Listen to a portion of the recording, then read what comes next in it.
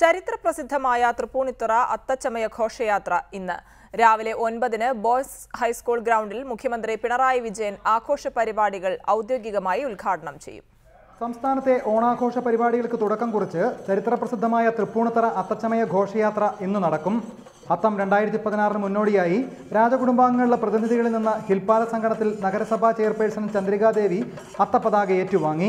ഇന്ന് രാവിലെ ഒൻപതിന് ബോയ്സ് ഹൈസ്കൂളിൽ നടക്കുന്ന ആഘോഷ പരിപാടികൾ മുഖ്യമന്ത്രി പിണറായി വിജയൻ ഉദ്ഘാടനം ചെയ്യും. M Swaraj M L A അധ്യക്ഷത വഹിക്കും. പത്ത് മുതൽ സിയോൺ ഓഡിറ്റോറിയത്തിൽ അത്തപ്പൂക്കള മത്സരം നടക്കും. തുടർന്ന് വിവിധ കലാരൂപങ്ങളും വാദ്യമേളങ്ങളും അണിനിരക്കുന്ന ഘോഷയാത്ര. വൈകിട്ട് അഞ്ചിന് നടക്കുന്ന കലാസന്ധ്യ നടൻ മനോജ് കെ ജയൻ ഉദ്ഘാടനം ചെയ്യും. ഇക്കുറി ഘോഷയാത്രയ്ക്ക് മുന്നോടിയായി നഗാര കൊട്ടി ദേശമറിയിക്കൽ ചടങ്ങ് സംഘടിപ്പിച്ചിട്ടുണ്ട്. രാജവാഴ്ചക്കാലത്ത് പതിവായിരുന്ന ചടങ്ങ് സർക്കാർ ഏറ്റെടുത്തതിൽ പിന്നെ ആദ്യമായാണ് ഘോഷയാത്രയിൽ ഉൾപ്പെടുത്തുന്നതെന്ന പ്രത്യേകതയുമുണ്ട്.